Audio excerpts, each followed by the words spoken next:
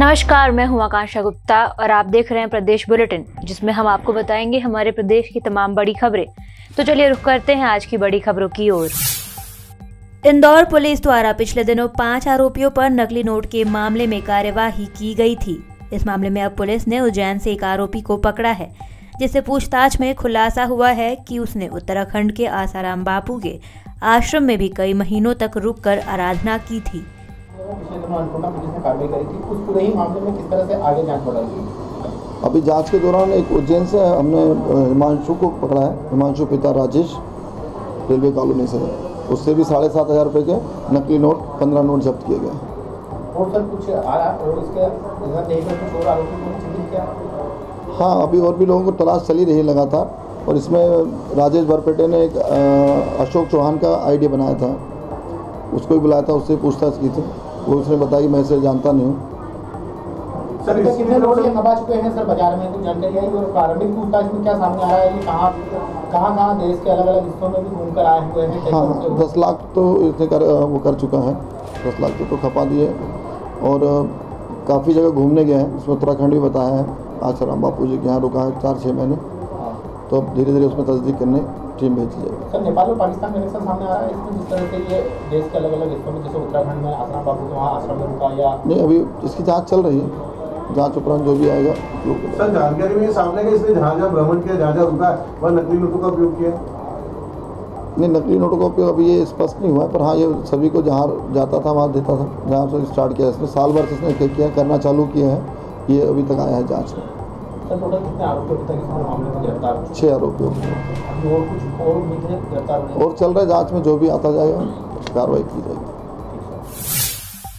इंदौर में crime branch द्वारा मुखबिर की सूचना के आधार पर एक व्यक्ति को गिरफ़्तार किया गया है जिसके पास से लगभग 20 लाख रुपए की कीमत की चरस बरामद की गई है। गिरफ्त में आए युवक से पुलिस पूछताछ में जुटी हुई है ताकि अन्य मादक पदार्थों से जुड़े तस्कर गिरोह के सदस्यों को पकड़ा जा सके। प्रहार के तहत हम लोग लगातार जो है नशे के खिलाफ प्रहार कर रहे हैं। और इसके अलावा जो है, आगामी चुनाव के मद्देनजर भी ये पूरा प्रयास है कि नशे के कारण जो है, कोई भी मतदान प्रभावित ना हो और कोई भी मतदाता जो है, उसके चंगुल में ना फंसे। तो उसके मद्देनजर भी जो है, लगातार नशे के व्यापार पे उनके जो विक्रेता हैं, उन पे कड़ी जो है, उस पर नज़र रखी जा रही है। इसमें जो है, एक व्यक्ति पकड़ा गया है, नथुनी भगत नाम से। ये जिला वैशाली बिहार का रहने वाला है। और ये यहाँ पे पकड़ा गया है राजेंद्र नगर थाना क्षेत्र के साथ में। इससे लगभग चार किलो चरस बरामद की गई है। इसने नेटवर्क बताया है कि, रक्सौल जिला जो बिहार का है, वहाँ से काफ़ी मात्रा में चरस जो है वहाँ पे उसका प्रोडक्शन हो रहा है। और वो जो है देश के अलग अलग हिस्सों में जो है, वहाँ से सप्लाई हो रहा है। और मध्य प्रदेश में भी जो है, उसकी सप्लाई चल रही है। उसी कड़ी में जो है, वो यहाँ पे कुछ लोगों को सप्लाई करने आया था, जिसको कि बीच में पकड़ा गया है। इससे पूछताछ चल रही है और इसके, जो यहाँ नेटवर्क इसने यहाँ अपना खड़ा कर रखा है, उसके संबंध में आगामी कार्रवाई की जाएगी। उज्जैन की नीलगंगा थाना पुलिस ने गौघाट रेलवे कॉलोनी में दबिश देकर नकली नोट चलाने वाले गिरोह के तीन सदस्यों को गिरफ़्तार किया है। पिछले दिनों इंदौर पुलिस द्वारा की गई कार्रवाई में नकली नोट छापने वाले गिरोह के साथ मिलकर यह बदमाश काम करते हैं। आरोपियों के पास से दो लाख पाँच हज़ार पाँच सौ रूपए के नकली नोट बरामद किए गए हैं। विगत कुछ समय से चुनावों की तैयारियों को लेकर पुलिस अधीक्षक महोदय द्वारा निर्देश दिए गए थे कि आगामी चुनावों में रिश्वत के रूप में नोटों का प्रचलन होता है और इसके अलावा नकली नोटों का प्रचलन भी इस कारण बढ़ने की संभावना रहती है। उस पर नज़र रखें और पुलिस अधीक्षक महोदय द्वारा संबंध में निर्देश दिए गए थे। उसके संबंध में एडिशनल एस महोदय और सीएसपी महोदय द्वारा भी हमें मार्गदर्शन दिया गया। इसके संबंध में हमने एक जानकारी प्राप्त की कि थाना अन्नपूर्णा इंदौर में एक व्यक्ति हिमांशु बर्मन को, हिमांशु को गिरफ़्तार किया गया था, जो कि नीलगंगा रेलवे कॉलोनी का रहने वाला था।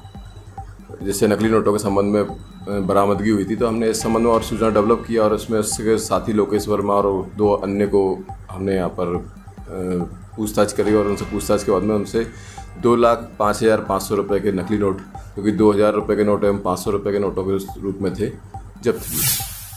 आचार संहिता के चलते निर्वाचन आयोग के निर्देशों के अनुसार आरटीओ ने नाना खेड़ा क्षेत्र में इंदौर रोड पर चालानी कार्रवाई की है। करीब नब्बे वाहनों से तीस हज़ार रूपए जुर्माना वसूल कर नंबर प्लेट निकाली गई है। जैसा कि चुनाव आयोग के द्वारा मध्य प्रदेश सहित अन्य पाँच राज्यों के लिए चुनाव आचार संहिता की घोषणा की गई है नौ तारीख से। उसी परिप्रेक्ष्य में हम लोग जो है उज्जैन शहर और उज्जैन ज़िले के अंतर्गत जितने भी अवैध संचालित वाहन है, जो स्पेशल राजनीतिक स्वरूप हमारे उसको स्वरूप को दिखाते हुए प्लेटों को विभिन्न प्रकार से नए नए नाम लिखा के सांसद प्रतिनिधि, विधायक प्रतिनिधि, कोई करनी सेना, कोई भीम सेना, इस टाइप की जो अलग अलग प्रकार की राजनीतिक पार्टियों का जो रजमाइश करते हुए लोगों के ऊपर रोप दिखा रहे हैं, उन पर हम कार्रवाई कर रहे हैं और इस प्रकार के हमने चालानी कार्रवाई करते हुए आज लगभग अस्सी नब्बे गाड़ियों में लगभग तीस हज़ार का जुर्माना वसूल किया है और तब से अस्सी नब्बे गाड़ियों की प्लेटें हम लोगों आज के लिए इतना ही, ऐसी ही तमाम खबरों को जानने के लिए आप देखते रहिए मृदुभाषी प्रदेश।